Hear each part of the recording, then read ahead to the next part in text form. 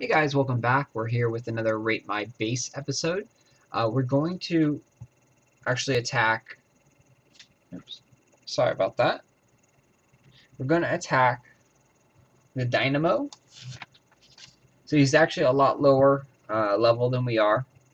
So we're definitely going to be able to beat his base 100%. We haven't attacked him before, Okay. So we don't use any scrolls in the series. I'll give you my analysis on his base design in the beginning.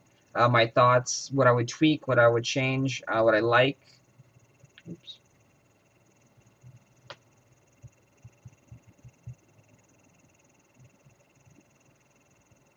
Sorry about this, taking a little bit longer. Fumbling around. Kind um oh okay. There we go. Alright so we have him favorited. Uh, so looking off it looks like a decent base. Again he's a low level 1400 trophies. Um, he has a tower right there which is in a really hard to get position. Uh, but he doesn't have a tower up here which you definitely want to put a tower right there. Uh, it's a very hard to get position. No fireball towers yet so you probably want to put um, either arrow towers. In this one, I'd probably put a uh, bomb tower. So then the bomb can come and splash all the troops that are going to be walking up through here. And in this one, I probably would put an arrow tower.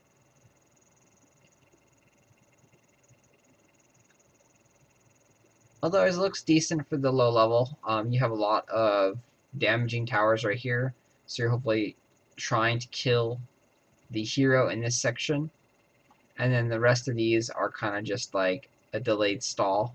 Uh, the two towers up here are going to prevent people from getting like 100%, uh, but it's not going to matter too much. If they get 98%, they're still going to win a good amount of gold from you, and they're still going to take a good amount of trophies.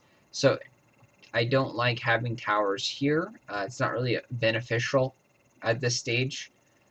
Those guys would be more beneficial either over here or up here or possibly even down here in this corner to make this more like a valley of death.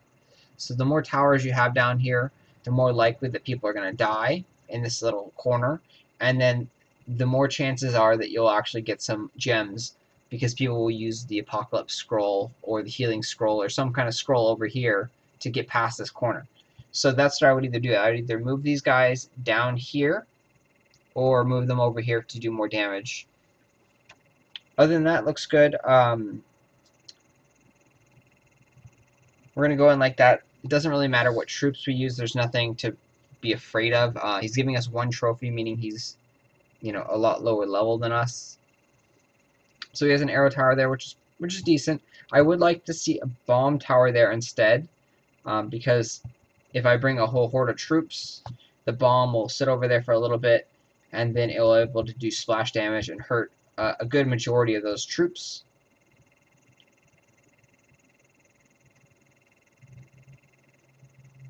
couple bomb towers over there. Too many pyromancers. That's a very, really, really bad wave setup. Having four pyromancers, um, you definitely do not want to have that. At this stage, do a lot of paladins and then one pyromancer in each wave. That's probably the most effective um, wave setup in the beginning is you know four paladins or five paladins and then one pyromancer. Even though people are spamming knights, having a couple bomb towers and having the gargoyle towers, those guys right there will help kill the knights and then the paladins will help be a big blockade and take care of, you know, doing some damage to the hero, and they also protect the pyromancers fairly well. So you use the hero button in the top left over here to call your troops, so you're able to call them over there and command them to destroy that tower. So the base layout, it works okay. Um, pretty good for a low-level base layout design-wise. The troops, though, definitely need to be changed. You have way too many pyromancers in there. You don't need that many Pyromancers. Uh, you do want to have a lot more Paladins at this stage. They're extremely powerful, and even though people are using a lot of Knights, the Paladins will be beneficial, a lot more beneficial than the Pyromancers. Let's go take a real quick look at the uh, base layout again. So you can even notice the Pyromancer is the number one unit here, so meaning he has a lot in there. So if you were just to take a look at, you'd see, oh yeah, he's got a lot of Pyromancers. Um, too many, too many, too many Pyromancers. Frosters aren't good really at all, uh, so I would take those out. And then a lot more Paladins. And make sure you keep upgrading your Paladins. Like I said, I would put a bomb tower there so that the bomb can splash all the knights or whatever units they're going to bring up. Most people probably at this stage won't be using cannons too much. Um, but either way, if they are, cannons are very, very effective at this stage, this lower levels. So that's why it's good to have a you know a decent amount of paladins and knights, because if they bring out a bunch of cannons, then they'll all attack the hero, and then if they get past the hero, or you know you run back to recover on your hero, your cannons are going to take the damage from the knights and the paladins. Pyromancers, you only need one. Don't put more than one in a wave. Um, other than that, this is a decent base for the low level area. Uh, you shouldn't come up with much trouble. But yeah, take out the paladin or take out the pyromancers, take out the frosters, um, put more paladins. Knights are also fairly decent. Uh, they're quicker than everything else, so they run up ahead of time.